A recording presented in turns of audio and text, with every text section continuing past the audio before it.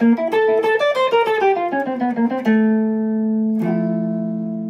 everybody, my name is Jens Larsen. The half diminished chord can be kind of difficult to improvise over. Very often we find us stuck with just the basic arpeggio and the scale that surrounds it. But there's a lot more material that you can use when you're improvising on half diminished chords. And in this video I'm going to go over some of the quartal arpeggios that work really well for this sound. And I'm going to show you how to practice them, how to find them, and also how they sound if you put them to use in a minor cadence. If you want to learn more about jazz guitar, about improvising over chord changes, checking out interesting arpeggios or chord voicings, then subscribe to my channel. If you want to make sure not to miss anything, then click the little bell notification icon next to the subscribe button.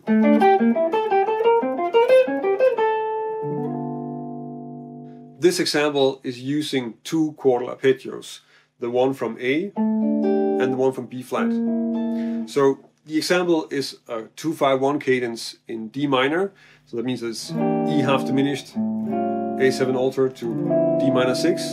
And on the E half diminished, I'm using a D minor scale or an F major scale, that would be the same notes. When you want to check out these two quartal arpeggios, then probably you want to check out all the quartal arpeggios of that scale on the middle string set. That would be this exercise.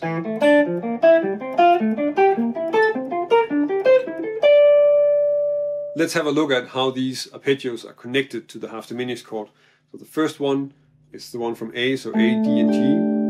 And of course D and G are just the seventh and the third of the half diminished chord, so they're chord tones, they work really well. The A is the 11, and really this is also almost an E minor 7 with an 11 without any fifth, so in that way that could also work as a voicing for an E half diminished chord.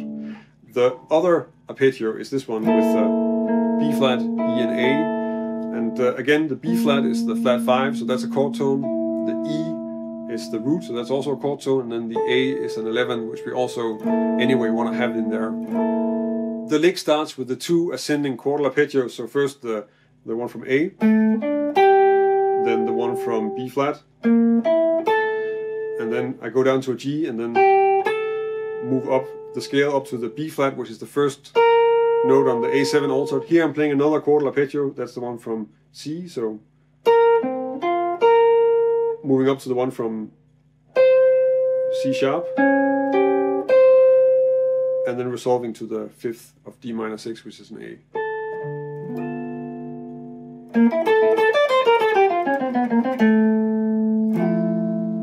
In the first example, we had first the quartal arpeggio from A, so this one, and then the one from B flat, which was this one. And uh, here I'm starting with the one from B flat also, so an ascending version of that.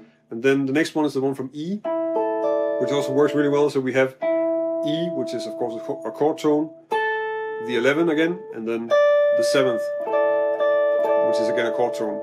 So if you want to check this one out, you can of course also just check out the top string set with uh, quartal arpeggios, that would be this exercise.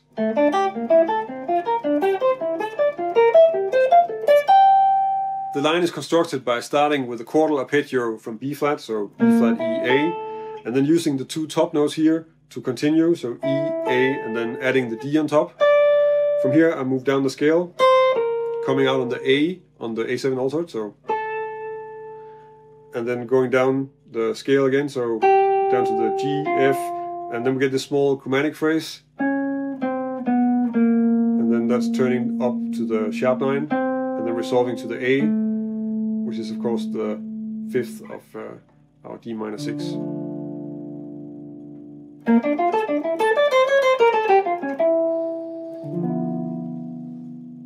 With this example I'm using another arpeggio that's not a quartal arpeggio but that works extremely well for the half diminished chord and that's the arpeggio from the flat 5 so the diatonic arpeggio from the flat 5 in this case is a B flat major 7. And then from the B flat major 7 I'm going down to D and using that as a diatonic leading note to play again the quartal arpeggio from E. So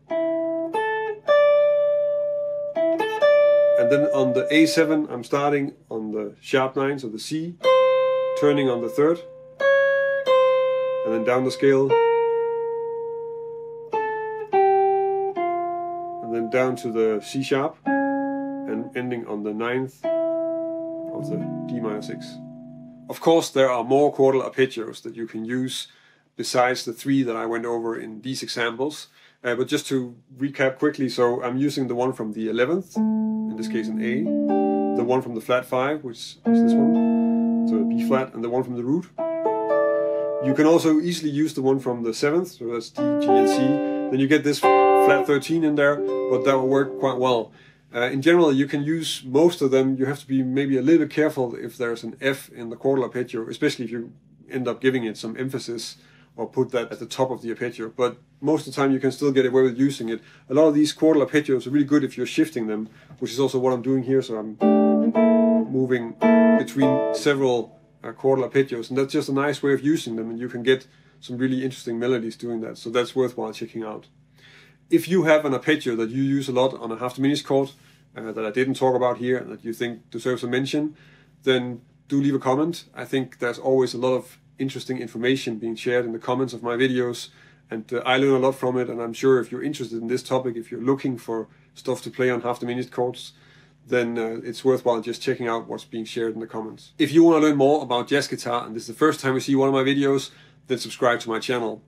The videos that I publish here every week are on finding some solid methods and good strategies for exploring all the interesting things about jazz guitar and improvisation. If you like this video and you want to help me keep making videos, then check out my Patreon page. It's because of the support that I'm getting from my patrons that I can keep on publishing videos every week. I'm very grateful for that. And if you join us over on Patreon, I can also give you something in return for your support. That's about it for this week. Thank you for watching and until next week.